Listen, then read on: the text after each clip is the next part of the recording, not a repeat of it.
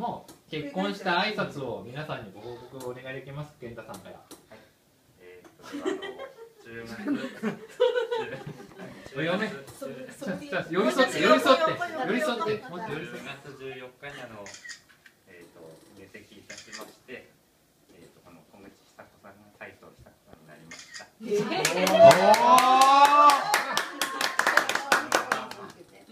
藤なんで子供でするんですかこちらに来てちょっと仲間に入れていただきましてあありがとうございます。いや本当ありがとうございます。ちょっとまあ今後はあの山形の方で二人ですごいなんだあまりこう来れなくなるかと思いますので年に一回ぐらいは。遊びに上に二回だ何言って3回ぐらい呼ぶか。らいや4回でしょ一回は季節ごとに一緒に遊びに来れたらなと短い時思ってますのでその時はよろしくお願いします。はい。あおめでとう。じゃあ奥さんから。奥さん。小口じゃないよニューニューネームでお願いしまじゃあ最初あじゃあちょちょちょっと待って。あれはああなたな何さんでちゃんとした指輪ができるまでのえ？え？旧姓でしょそれ。あさい言えないもん。斉藤久子です。誰だろう？斉藤。斉藤久子。ちゃんと言って旦那さんの前10月14日に斉藤久子になりました。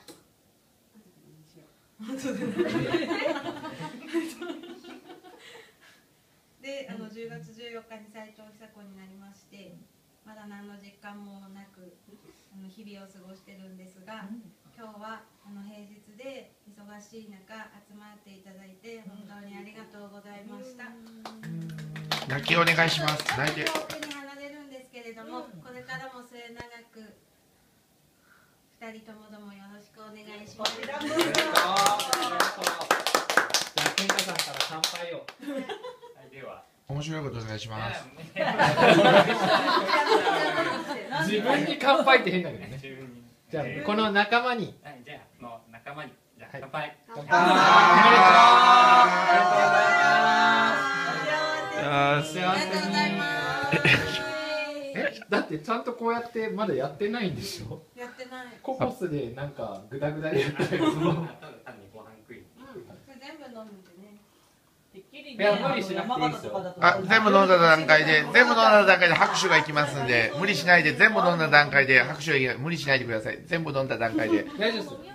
無理になったら嫁がこう隣で首首そ一瞬で言ったら面白いですよね。あー美味しいね。飲めなくはない。まあ大斉藤久子になったよ。結局斎藤の際はどっちの際なの？簡単な方だ聞いてたの。簡単な方に書いてるよ。刀の方ですか？本当いざ言は。ったらば、あおあ。いざ言ったらば間違っなんか難しい。ちょっと全部じおさゃん。難しい際だった。どんぐり。どんぐり。無理無理しないで。ね無理しないで。いけあダメ。大丈夫今日連れて帰ってくれる人いるから。大家わかんないよ。丈夫だよ今あの携帯がある一人で東京駅からあの一人で東京駅から。出るようには。おおおー。おお今日も俺ほぼ前歩いてきた。おおかっこいい。俺ほぼ前歩いてきたよね。かっこいいぞ。もう一回言いましょう俺ほぼ前歩いてきたよね。ずっと撮ってますよ。俺今度からガレージないと一人でも来れるぜ。そう。あ、そうだあれ言うの忘れた。ほらお家に。お家に？みんなで来てみあ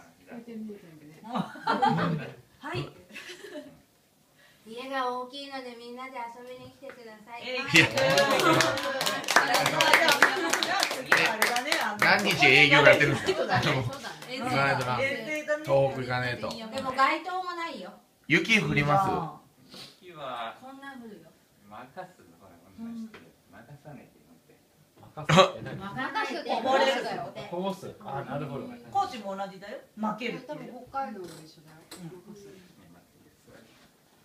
かっこいいじゃあ撮影終了。